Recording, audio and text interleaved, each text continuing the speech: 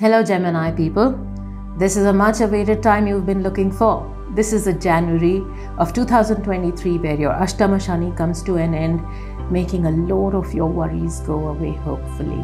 This is a time when Saturn moves out of your 8th house of death, taxes, and a lot of losses and worries into your 9th house, bringing significant relief. From the 9th house, it aspects your 11th house so, definitely, there are some people who, who, are going to be dropping off your social circle as you realize they were not really your true friends.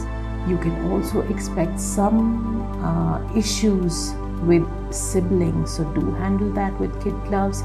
Some of the Gemini individuals who've been trying to wrap their heads around, you know, paying off debts, this is a time when uh, the debts can also get paid off. So, work earnestly towards, you know, just paying them off.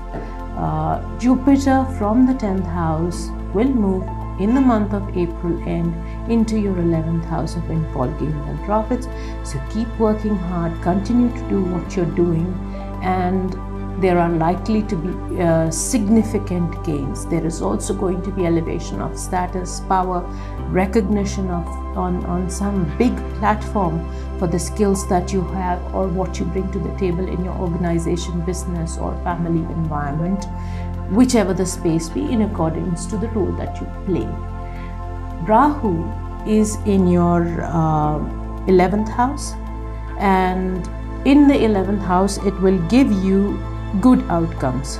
One thing that the Gemini individuals need to be careful about is that roughly for a period of six months or so, starting May to the month of November, Jupiter and Rahu are going to be together in your 11th house, aspecting your 5th house.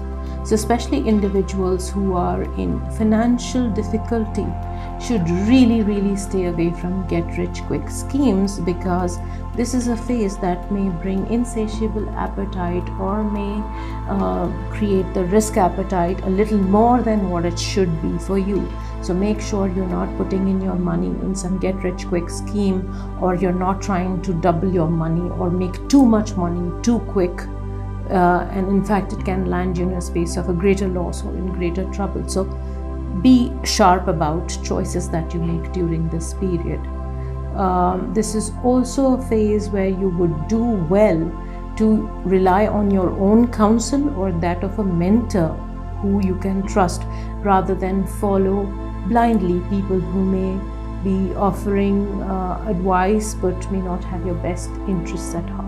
I hope you choose wisely and I hope there is great comfort and relief for, you as 2023 begins.